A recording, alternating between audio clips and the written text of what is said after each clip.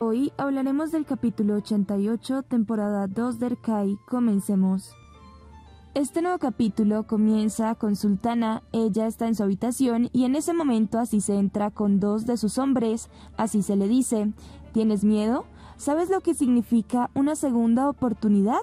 Sultana dice, es algo que yo no tengo, así se le dice, exacto, ahora llegó el momento de pagar por tus faltas. Los dos hombres de Asise toman a Sultana por los brazos, la sacan de la mansión Aslambey y la suben a un carro. Asise solo mira cómo se la llevan. Lo que pasó aquí es que Asise se enteró que Sultana fue quien apoyó a Liv para que se case con Asad. Ella la está botando de la mansión por eso, por traicionarla. Nos vamos a la mansión Sadoglu, vemos a Hazar sentado en su cama con Sera. Hazar recibe una llamada y solo dice, ¿En serio? No lo sé. Hazar suspira y dice, Está bien, entiendo. Gracias, que Dios la bendiga. Hazar se queda callado y Sera le pregunta, ¿qué pasó? ¿Quién lo llamó?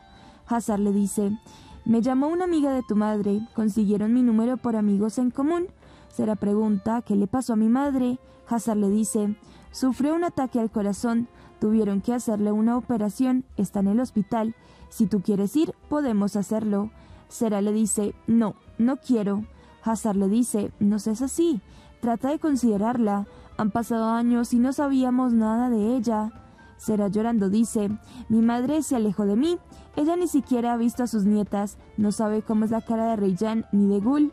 Hazar le dice, ella se equivocó, nosotros también cometimos errores, hazlo por ti, conozco tu buen corazón. Sera dice, yo conozco el corazón de piedra de mi madre, ella no quiso entender los motivos por el cual me casé contigo. Ella quería que el padre de Reyyan. Sera llora y dice, no hablemos más de esto, por favor, no quiero recordar. Hazar le dice que está bien, descanse y luego hablarán de eso. Sera se recuesta y empieza a llorar e intenta dormir. Al mismo tiempo vemos a Nasu parado en medio de la mansión Sadoglu. Él está muy triste y dice, el incendio no fue en esa casa, fue aquí, dentro de mí, en mi alma. Nadie lo sabe, pero no se apaga. Por otro lado, vemos a Asise. Ella también está parada en el medio de la mansión Aslambey y dice, no pude apagar el incendio que iniciaste, pero un día tendrás que quemarte igual que yo. Nasu y Asise dicen al mismo tiempo, ni siquiera la muerte podrá quitarme este sufrimiento. La escena cambia al hotel, vemos a Reyyan y Miran durmiendo. En ese momento, Reyyan se despierta muy asustada y agitada. Miran se despierta y le pregunta qué le pasa. Reyyan dice, fue horrible, no podía salir de esa casa en llamas. Miran le dice, tranquila, estamos a salvo, solo tuviste un sueño. Reyyan le pregunta, ¿quién pudo haber hecho eso? Miran le dice, sospecho de la persona que nos estuvo enviando esas notas. Reyyan dice que ellos no pudieron ser, ellos nos estuvieron ayudando, ellos nos ayudaron a encontrar a tu abuela Chukran. Miran dice, entonces, ¿quién podría ser? Reyyan recuerda una conversación que tuvo con Ali, el amigo de su padre Hazar. Ali le dijo que así se fue la responsable del tiroteo al auto de Miran y también a la nueva casa que Miran y Reyyan habían comprado. Reyyan le dice, ¿pudo ser tu abuela Cise? Miran le dice, no digas tonterías, ella no haría eso sabiendo que Liv estaba dentro de esa casa, y tampoco sospecho de tu familia, ya que Asad y tú estaban dentro. Miran le dice a Reyyan, mejor duerme, mañana será un hermoso y soleado día. Miran le abraza y ambos duermen. Es así como acaba el día. Al día siguiente vemos a Miran y Reyyan despertando. Miran le dice, te lo dije, sería un hermoso día soleado. Reyyan le dice, ¿cómo sabes? Miran le dice, solo basta con abrir los ojos, ver el sol y verte a ti a mi lado. Reyyan le dice, no entiendo cómo puedes estar tan tranquilo luego de lo que pasó ayer.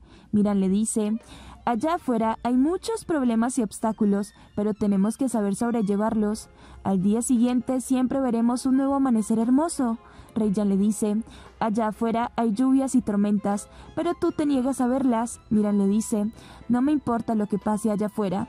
El sol sale cada día al lado mío. Miran se pone de pie y le dice que mejor salgan a desayunar. Reyyan pasa al baño y ambos se alistan para salir. La escena cambia a Cise. Ella está en su habitación y llama a Hanife. Así se le pregunta cómo está Liv. Hanife le dice, ¿Cómo podría estar luego de lo que pasó? La tengo vigilada todo el tiempo, no le falta nada, no te preocupes.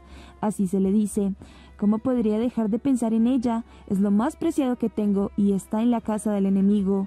Escúchame bien, Janife. Si alguien intenta tocarle un pelo a mi nieta, si esa serpiente de Yaren o su madre intentan hacerle algo, me avisarás de inmediato. Janife le dice, puedo encargarme de ellas, pero de Nasu si Nasu intenta hacerle algo, no podré con él. Así se le dice. Él ahora está sufriendo, no será capaz de hacer algo, pero si intenta hacerlo me avisarás. Hanife le dice que está bien. Regresamos al Hotel Asdambey, vemos a Miran y Reyyan en la cafetería. Miran le dice, iré a hablar con Firad un momento, de camino ordenaré el desayuno, ya regreso. Reyyan le dice, está bien, pero vuelve pronto. Miran se va y en ese momento aparece Harum. Él ve a Reyyan sentada sola y dice, Vaya, vaya, vaya, estas chicas Adoglu son muy hermosas, llegó el momento de conocerla. Harum se sienta al lado de Reyyan, la mira y le dice, ¿Puedo sentarme? Reyyan lo mira y le dice, ¿Quién eres? ¿Qué haces aquí? Harum le dice, No sabes quién soy, pero yo sí sé quién eres, soy Harum. Harum le extiende la mano, pero Reyyan no lo acepta y Harum le dice, Quizá me conoces, soy el prometido de Yaren.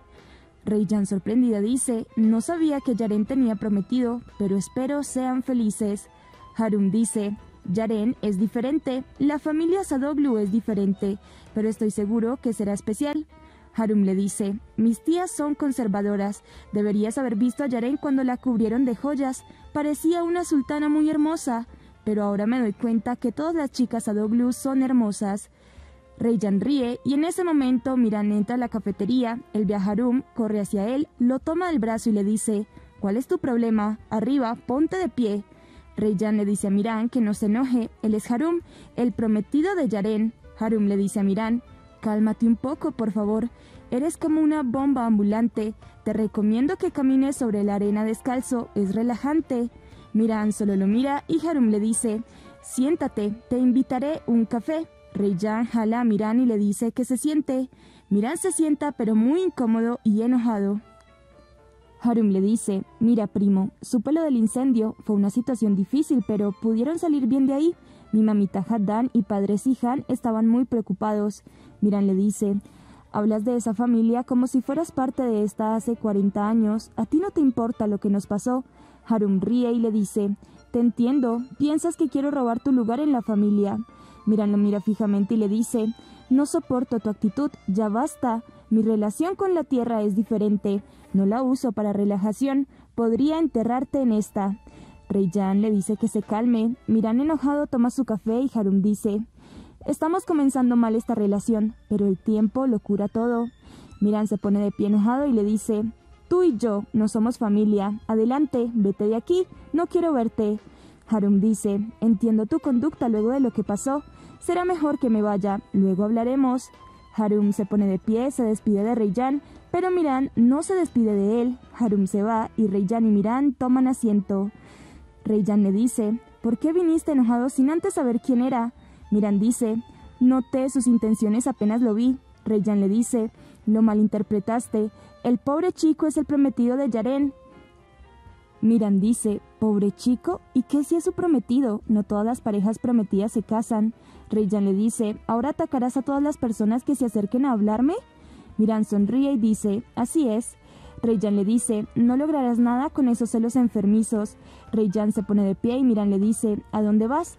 ¿Pelearemos por culpa de ese imbécil? Reyyan dice, se me quitó el apetito. Ella se va de regreso a la habitación. Nos vamos a la mansión Sadoglu, vemos a Elif en su habitación. En ese momento entra Haddan y le dice, ¿qué pasa, nuera? Todos desayunaremos en la mesa, pero tú pediste el desayuno al cuarto. ¿Crees que eres la novia de la familia británica real? Elif le dice, yo no pedí nada de eso. Haddan le dice, cuando estuve recién casada bajaba a la cocina a ver que las sirvientas trabajaran como corresponde pero por tu apellido solo puedo decir de tal palo tal astilla. Las mujeres Aslanbey no te enseñaron eso, ¿verdad? Elif le dice, no entiendo por qué me trata de este modo. Haddan le dice, tal vez porque tu abuela acaba de intentar matar a mi hijo. En ese momento entra Asad a la habitación, ve a su madre y le pregunta qué pasa. Haddan dice, vine a avisarles que desayunaremos en la mesa. Asad le dice, Yo le pedí a Melike que nos traiga una bandeja. Elif y yo desayunaremos aquí. Elif le dice que no, es mejor desayunar con todos. Después de lo que pasó ayer, tu familia quiere estar contigo. Haddan dice, así se habla, los esperaremos abajo. Haddan se va y Elif le dice a Sad, vamos. Elif sale de la habitación y Asad va atrás de ella. La escena cambia a la mansión Aslan Bey. Vemos a Chukran extendiendo su cama. En ese momento tocan a la puerta de su habitación. Ella abre y es Asise. Chukran solo la mira y Asise le dice, ¿qué pasa? ¿No me invitarás a entrar? Chukran le dice, ¿estás bien de ese lado de la puerta? Así se le dice, deja de jugar, encontremos una solución a nuestro problema. Chukran dice, ¿yo soy quien tiene que encontrar una solución? Mis nietos casi mueren ayer todo por culpa de tu hostilidad. ¿A quiénes hiciste sufrir que ahora quieres matar a mis nietos para desquitarte de ti? Así se le dice. ¿Tú no tienes la culpa? Chukran dice que tiene que ver Reyyan y yo en esto. Así se le dice. Quien quiera que te haya entregado esa nota fue quien inició el incendio. Tú estás escondiendo a quien entregó esa nota. Quieres vengarte de mí, pero estás lastimando a tu nieto. ¿Y si Miran hubiera muerto quemado? Chukran se queda callada y así se le dice. Dime quién te dio esa nota. Chukran le dice, no sé quién me la dio. Alguien golpeó mi puerta. Cuando fui a abrir, solo encontré esa nota. Asise se queda pensando y en ese momento se escuchan los gritos de Gonul. Asise y Chukran salen de la habitación a ver qué ocurre. El capítulo acaba con Gonul, ella está fuera de la habitación de Sultana con dos guardias y Esma. Gonul llama a Sultana pero esta no responde. Gonul le pide a uno de los guardias que tire la puerta de la habitación. El guardia tira la puerta y Gonul entra pero no encuentra a su madre. Esma le dice, quizás salió a comprar. Gonul dice, ella me lo hubiera informado. Así se Chukran entran a la habitación y Gonul le dice, abuela, dígame dónde está mi madre. Así se le dice, no me culpes, ella decidió irse a Kars a descansar. Gonul dice, ella no se iría sin decírmelo antes. Gonul abre los cajones de la mesa de noche de Sultana, pero no hay nada. Gonul dice, ¿de verdad te fuiste a Kars, madre? ¿Por qué no respondes mis llamadas? Chukran dice, Ojalá no haya tenido un accidente, así se dice. No sea sabe de mal agüero. Sultana ayer fue a mi habitación, dijo que estaba sofocada aquí y quería Kars a descansar. Por eso no responde tus llamadas. Cuando despierte te contestará. Gonul solo piensa y así se dice, ella no está bien. En ese momento Miran y Reyyan llegan a la mansión. Gonul corre hacia ellos y le informa a Miran que Sultana se fue a Kars. La estuve llamando, pero no contesta. Miran dice, ¿a Kars? ¿Qué haría ya? Gonul dice que no sabe, pero estoy llamándola y no contesta. Así se dice. Ella se fue a descansar. En ese momento se abre la puerta de la mansión y vemos a Sultana entrando. Así se, se queda viéndola muy sorprendida. Espero les haya gustado este resumen. No olviden suscribirse y activar la campanita de notificaciones para que no se pierdan ninguno de nuestros próximos videos. Gracias.